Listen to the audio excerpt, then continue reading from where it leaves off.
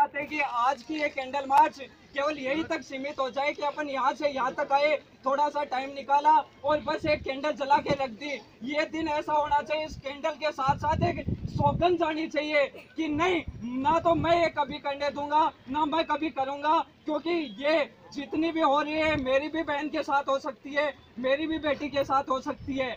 तो मैं दो चार लाइनें बता के आप सभी को कहना चाहूँगा कि आज ज़रूर एक कसम खा के उठें, वरना इसका कोई अपना मकसद कभी पूरा नहीं हो सकता।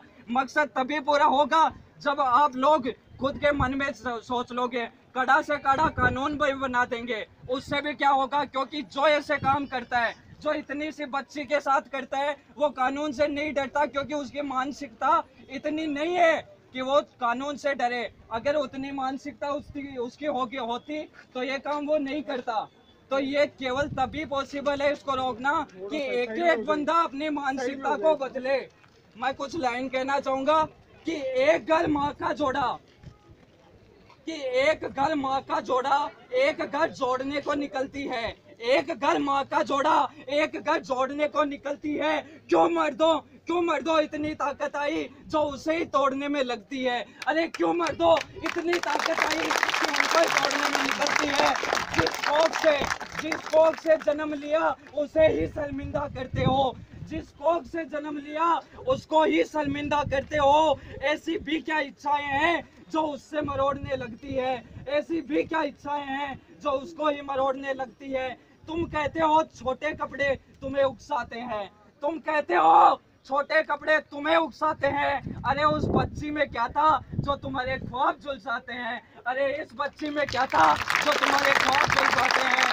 ये बेटियाँ ही तो ये बेटियाँ ही तो माँ, ये बेटियाँ ही तो माँ, बहू और राखी बनती हैं। क्यों मर्दों इतनी ताकत आई?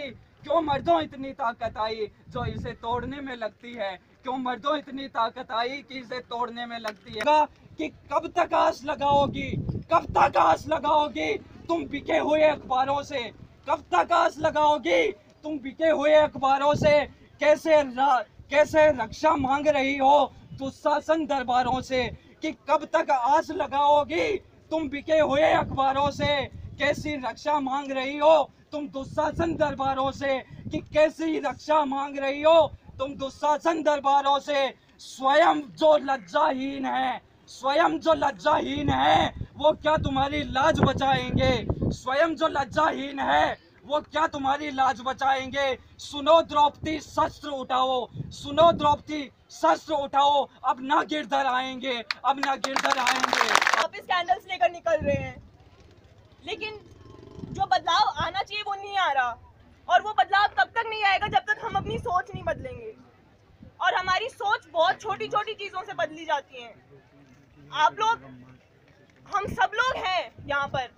हम लोग बहुत गालियाँ देते हैं। एक बार सोच के देखो आप उन गालियों में क्या बोलते हो। कोई भी चलती हुई लड़की है, बहुत आसान है हर किसी के लिए सीटी बजाना।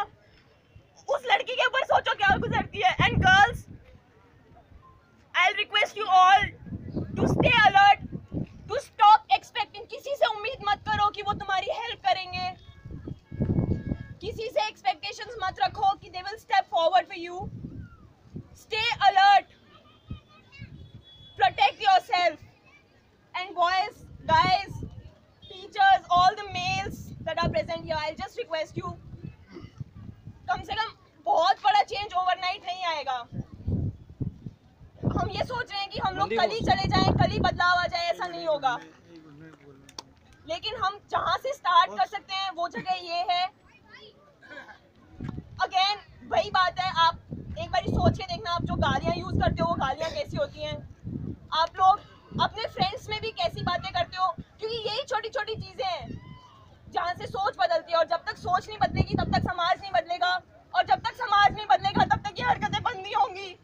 और अगले छह साल बाद हमें फिर कैंडल मार्च करना पड़ेगा और अगले छह साल बाद हमें फिर ऐसे ही कनेक्ट होना पड़ेगा हम इस जहाँ के लोगों में वफा ढूंढ रहे हैं। हम इस जहाँ के लोगों में वफा ढूंढ रहे हैं। कैसे इंसान है हम? जहर की शीशी में दवा ढूंढ रहे हैं। और इस माहौल में दवा क्या दुआ क्या है? जब मुजरिम खुद ही आके पूछे कि हुआ क्या है। प्लीज़ कमेंट करने से पहले सोचें। क्या इसका कैरेक्टर कैसा होगा? तो आसिफा के हत्यारों को ढूंढ के मारो सालों को। आसिफा के हत्यारों को ढूंढ के मारो सालों को। 2011 के निर्भया रैप कांड से लेकर आसिफा तक और आठ पाँच साल की गुड़िया के हिमाचल के उस रैप से लेकर मैं शुरू से बोलता आया हूँ कि कोई भी किसी भी पॉलिटिकल पार्टी से हो या उसका कोई कोई भी रसूख हो, उसको फांसी मिलनी चाहिए, उसको फांसी मिलनी चाहिए। एक बार फिर से कहता हूँ, आसिफा के हत्यारों को ढूंढ के मारो सालों को, आसिफा के हत्यारों को ढूंढ के मारो सालों को। जय हिंद।